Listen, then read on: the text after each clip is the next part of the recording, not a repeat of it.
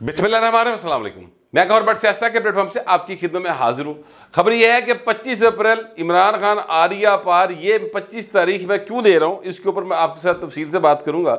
मगर उससे पहले मैं आपसे गुजारिश करूँ कि इस वक्त पाकिस्तान के अंदर इंज लगता है जिम्मे हर पास कड़ कड़मास पै गया छः खत जज हैं, उन्होंने खत लिख दिया है। और उस खत के साथ ही अब आज के दिन में डेवलपमेंट ये हुई है कि लाहौर हाई कोर्ट बार की जानब से, इस्लामाबाद हाई कोर्ट बार की जानब से कराची हाई कोर्ट बार की जानब से मुकम्मल तईद व हमायत आ गई है। और हमारे दोस्त मियाँ दाऊद साहब जो हैं, वो भी एक एप्लीकेशन ले के इस्लामाबाद जा पहुँचे, ने कि भाजी, ए, जड़े ने इंक्वायरी करो। ये जो मामला सामने जेर बहस आया, और सुप्रीम जुडिशल काउंसिल इसकी इंक्वायरी करे।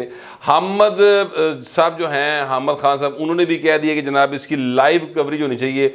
सारी नशरियात, सारी दुनिया देखे कि की की मामला हो रहा है। यानी एक साइड ये है कि अदालती महाज के ऊपर मुकम्मल तरीके से जो है वो एक चढ़ाई है, जो की जा रही है। ज़ाहिर है ये इस्टेब्लिशमेंट के ऊपर चढ़ाई करने की एक कोशिश है। अच्छा फिर उसके बाद आप ये देखें कि जनाब, इसी इशू को ढाल बनाकर यानी करीज से बाहर निकल के चौके छिके लाने की कोशिश कर रही है अपोजिशन आज जो अपोजिशन लीडर है पंजाब असम्बली में, मलक साहब, उन्होंने कहा कि जनाब, हम कहते हैं जो उन्होंने खाता लिखा उसकी इंक्वायरी करा लो। जुडिशल कमीशन बनाया जाए, फिर जो तहरीक इंसाफ के लोग हैं, जो भी उनके यूट्यूबर्स हैं या जो भी उनकी साइड के साफी हैं जेड़े भी उन्होंने सोशल मीडिया का ग्रुप है, और यह याद रखा जे कि तहरीक इंसाफ का सोशल मीडिया का जो इन्फ्लुएंस है, वो सबसे ज़्यादा है पाकिस्तान में। और वो बहुत ज़्यादा बेहतर अंदाज से अपनी झूठ को भी सच के तौर पर पेश करते हैं। तो भाजी लोग उन्होंने सच मान लेंगे जो उनका सच होता है, भावें वो सौ फ़ीसद झूठ होवे। मसलन यह गल कि इमरान खान बहुत ईमानदार है ये सौ फ़ीसद झूठ बात है। लेकिन आ, वो इस तरीके से उन्होंने इस बात को इतनी बार कहा है कि लोगों ने मान लिया। और रज़ी दादा तो खैर उनके बारे में एक बात कह देते हैं कि जनाब जो ये इल्ज़ाम दूसरों पर लगा रहे होते हैं वो जुर्म उस वक़्त लम्हा मौजूद में ये खुद कर रहे होते हैं। तो ये जो उनका है, क्या कहते हैं कमांड है सोशल मीडिया के ऊपर, वो अपनी जगह पर मौजूद है। लिहाजा ये छे जजा की खातर जरा ना वो मोढे ते रख के तड़ा तड़ जड़े ने फैर, वो जारी सारी ने। सोशल मीडिया के ऊपर इलेक्ट्रॉनिक मीडिया के ऊपर मुकम्मल तौर पर एक सीन जो है, वो चल रहा है। ये एक साइड है। अब एक साइड क्या है? ये है कि जनाब, कल बुशरा बीबी ने कहा बराह रास्त नाम लेकर का कि जनाब अगर इमरान खान कुछ हुआ तो ये मिलिट्री के तीन टॉप के जो हमारे जर्नैल हैं ये ज़िम्मेदार होंगे आई एस आई के जनरल साहब का उन्होंने नाम लिया हाफज साहब का नाम लिया और आई एस आई में जो सेकेंड इन कमांड है मेरा ख्याल उनका नाम लिया तीन का उन्होंने नाम लेकर उन्होंने बराह रास्त ऑफ़िस से बात करते हुए ये बात की अच्छा यानी हर हवाले से प्रेशराइज किया जा रहा है अब एक तीसरा प्रेशर जो है, वो भी सामने आ रहा है, मगर उससे पहले जो सबसे अहम प्रेशर है, मैं उसकी बात कर दूँ। माशी तरक्की के लिए prime minister of Pakistan Shehbaz Sharif साहब जोड़े ने, वो सर तोड़ कोशिश कर रहे हैं, दौड़ ला रहे हैं। एक पोल तो दूजे पोल तक भैन की दौड़न लगी हैं कि किसी तरीके से पाकिस्तान के अंदर हालात बेहतर हो जाए। आई एम एफ़ के नाल तो चलो साढ़ा मुआदा हो गया। अभी स्टाफ लेवल का हुआ है अगला भी मुआदा करने जा रहे हैं वो भी हो जाएगा। लेकिन महँगाई कंट्रोल करने के लिए बहुत सारे काम करने की ज़रूरत है। आ, उन्होंने आ, जो रिटेलर्स हैं उनके ऊपर टैक्स लगाने की बात की है और पी आई ए को की निजकारी की बात की है। और इसके बाद एक नया जो सिलसिला है वो एहतजाज का वो शुरू होने वाला है। माशी हालात ठीक करने के लिए बहुत ज़रूरी है सियासी हालात ठीक हो। सियासी हालात जो है वो पाकिस्तान के सिर्फ़ सियासतदानों तक में, महदूद नहीं है। इसमें अदलिया भी शामिल है, इसमें जज भी जर्नैल भी शामिल है और इसमें कारोबारी अफराद भी शामिल हैं। मलक रियाज का केस है भाजी। वो एक केस ने अजाब पाया अजे जोड़ा चलता पाया और किसी भी सूरत मलक रियाज को माफ़ी नहीं मिल रही। और मलक रियाज के जोड़ा ना मतलब तनाबा खिंचियाँ जा रही तो उसकी वजह से ये सारे का सारा किल कल्याण जो है, वो बताया जा रहा है कि पड़ी हुई है। बहरल ये एक साइड है। अब एक नवा कटा खुलने जा रहा है और नवा कटा ये खुलने जा रहा है, जो इस सारे शोर में ना दबसा गया है। हालाँकि वो कटा बहुत हैवी किस्म का कटा है। और वो अगर ये छः जजा वाली कहानी ना आई होती यानी छः जजों के खत वाली कहानी ना आई होती तो उसका रोला होता इस वक्त सारे टी वी चैनल जो है मुसलसल वो फटे मार रहे होंगे और चीज़ा उस पास चल रही होंगे लोग उसको ज़रा सरफ नज़र से काम ले गए, क्योंकि यह व्डा काम आ गया ना उस तो। मौलाना फजल रहमान साहब ने अपनी कोई आठ मिनट की एक वीडियो बयान रिलीज़ किया और उसमें उन्होंने ये कहा है कि हम अप्रैल में ये जो हो रहे हैं इंतबात हम उसका बाइकट कर रहे हैं। हम ज़मनी इंतबात में हिस्सा नहीं लेंगे। और वो कहते हैं सारे का सारा सिस्टम ही गलत है। असी नुमाइंदगी नहीं है। उसके बाद जो मौलाना फजलरहमान है उन्होंने एक ऐलान किया कि 25 अप्रैल को मैं पशीन से निकलूँगा यानी बलूचिस्तान से। वहाँ पर मैं एक जलसा करूँगा उसको हम अवामी इसम्बली का नाम देंगे। आ, उसके बाद फिर हम जनाब जाएँगे दो मई को कराची। और फिर नौ मई को पेशावर। और फिर हम अगला हमारा अगला टारगेट होगा लाहौर। और इसके लिए हम सारी सियासी जमातों से रबते कर रहे हैं। और सारी सियासी जमातों से मुराद ये है कि सारी सियासी जमात। इमरान खान से मौलाना फजल फजलरमान के रबते तो बहर मौजूद हैं। और मौलाना साहब जो हैं उनसे मिलने भी गए थे असद कैसर साहब और इमरान खान ने भी उनको 30 मार्च को जो जलसा वो करने जा रहे हैं, उसकी दावत दी हुई है।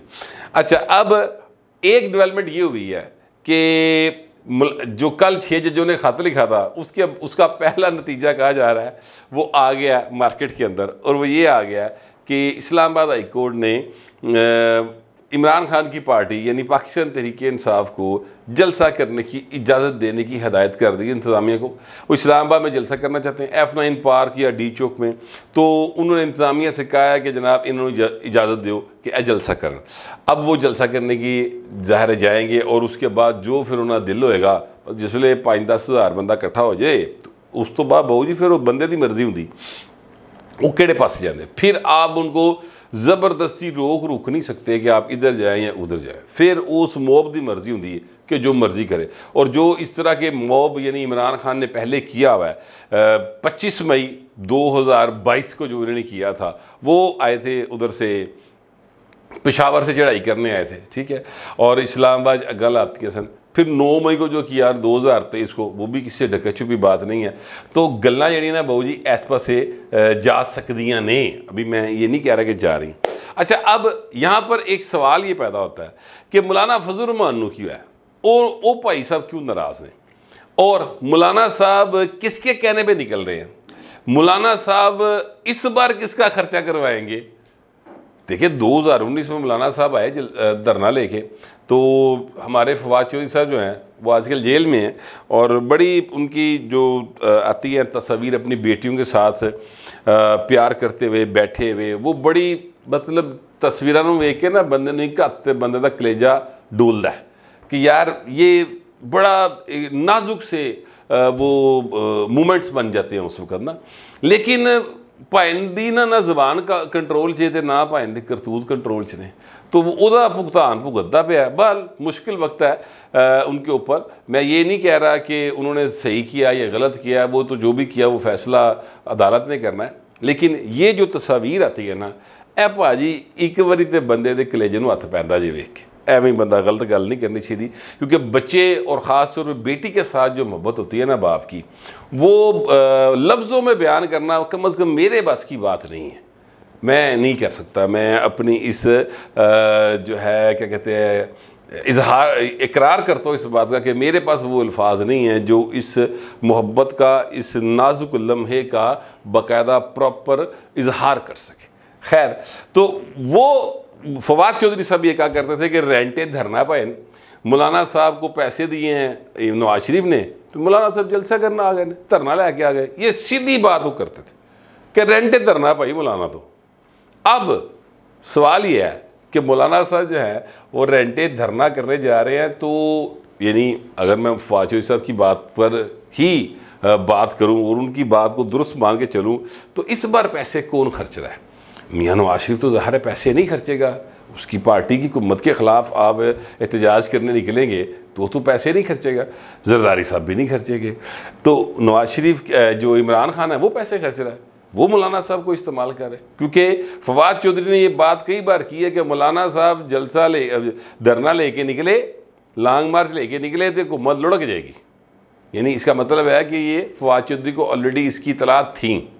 तो अब मौलाना साहब ने ऐलान कर दिया। अच्छा अब ए, कौन पैसे लेके? मतलब इस पर पैसे लगते हैं। याद रखिएगा ये जो जलसे होते हैं ये जो रैलियाँ होती हैं ये आ, हवा में नहीं होती। मतलब थुकाना पकौड़े नहीं तले जाते। इसके ऊपर पैसे लगते हैं। चाहे वो कहीं से भी आए हों। तो ये कौन पैसे खर्च करेगा? पशीन से मौलाना साहब एहतजाज शुरू कर रहे हैं। यानी उनका जो पहला अवामी असम्बली होगी, वो पशीन में होगी। और उसके बाद वो सिंध में जाएँगे। उसके बाद, यानी सिंध से मुराद है कराची। और, फिर उसके बाद पेशावर में जाएँगे। फिर लाहौर आएँगे। अब सवाल यह है कि मौलाना साहब के साथ धांधली अगर हुई है, मौलाना साहब धांधली के खिलाफ आ रहे हैं तो क्या वो के पी के में हुई है? और सॉरी वो बलूचिस्तान में हुई है? नहीं, बलूचिस्तान में तो नहीं हुई, क्योंकि बलूचिस्तान में तो उनकी कुछ दस ग्यारह सीटें हैं।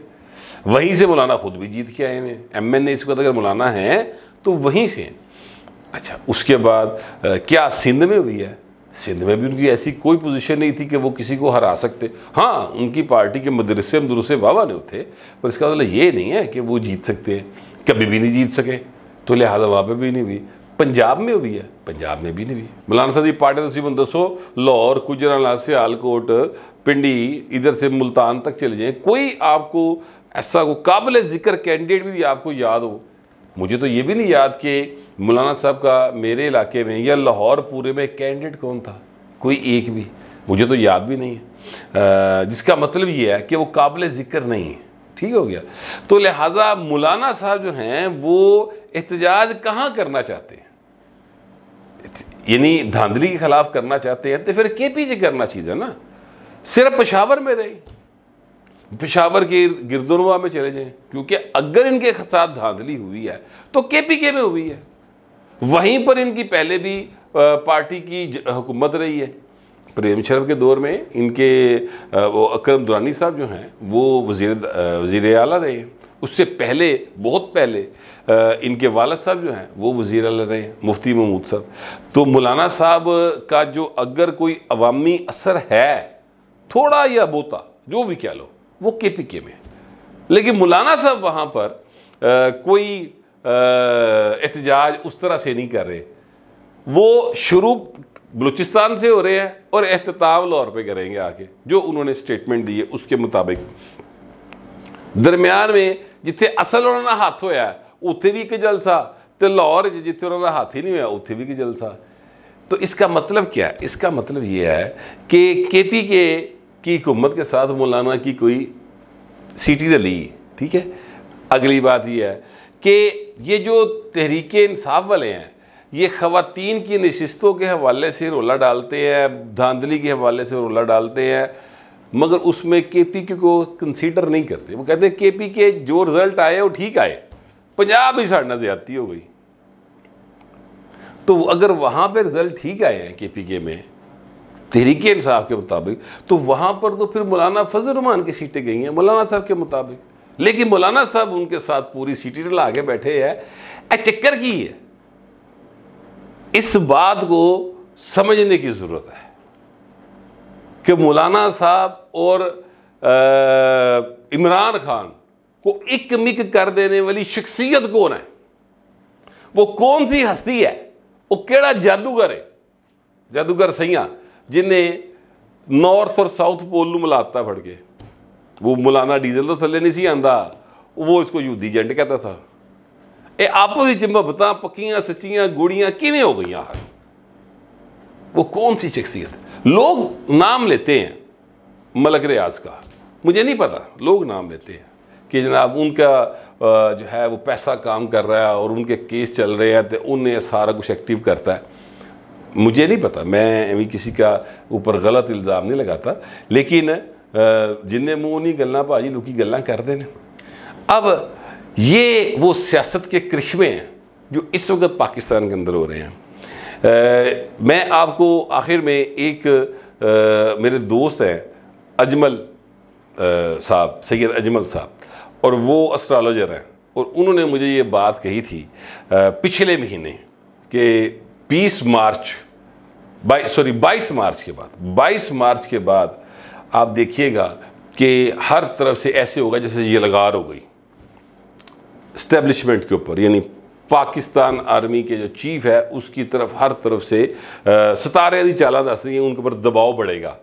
और वो अदलिया में से भी लोग निकल के सामने आएँगे, ऐसी अदालतें कुछ चीज़ें करेंगी, कोई फैसले होंगे, यानी उनको एग्जैक्ट तो नहीं पता था क्या होना है लेकिन वो ये बता रहे थे कि अदालती साइड से भी, सियासी साइड से भी, माशी तबार से भी चीज़ें जो हैं वो काफ़ी डिस्टर्ब होंगी, और ये वो उनके मुताबिक 22 मई तक ऐसा रहेगा। और उसके बाद जाके स्टेबल होना शुरू हो जाएँगी। और ये भी वो कहते हैं कि इस सारे टर्न्योर में जित जड़ी है वो हाफ साहब हो जाएगी और बाकी सब जो है वो आउट हो जाएंगे यानी उनकी जीत नहीं हो सकेगी ठीक है मैदान से भाग जाएंगे अब आगे क्या होगा क्या नहीं होगा जिसलिए उन्हें मैंने उदू गल दसी सी फैबररी ਦੇ ਵਿੱਚ और इलेक्शन से पहले बात की थी उन्होंने तो मैं उन्हें कहता था नहीं यार इस तरह नहीं होएगा चीज़ां होर हो जाएंगियां उन्होंने कहा जी आपका अपना हिसाब है ਸਾਡਾ 17 ਦੀ ਚਾਲਾਂ ਦਾ ਹਿਸਾਬ ਹੈ ਤੇ ਭਾਜੀ ਉਹਦੀ 17 ਦੀ ਚਾਲਾਂ ਤੋਂ ਵਿੱਚ ਇੱਕ ਸ਼ਾਇਦ ਹੋਰ ਸਾਬਤ ਹੋ ਗਈ ਜੇ ਕਿ एकदम से, जो कल छः जजा ने धमाका किया है उसके बाद, और फिर मौलाना साहब का वो लांग मार्च आ गया तो गल्ला दे उस पास जा रही हैं। बल, पाकिस्तान की अल्लाह पा खैर करे, और जो भी पाकिस्तान के ख़िलाफ़ साजिशें कर रहे हैं वो सब नाकाम हो जाएँ, और पाकिस्तान जीत जाए मतलब पाकिस्तान के आवाम जो हैं वो सुख का सांस लें, महँगाई और बेरोज़गारी का ख़ात्मा हो। ये मेरी दुआ है और आपसे भी मेरी गुजारिश है कि ये दुआ भी करें और इसके लिए कोशिश भी करें। कमेंट ज़रूर कीजिएगा, मगर ज़रा तहजीब के साथ। फ़िलहाल इतना ही, मिलते अगले विलाग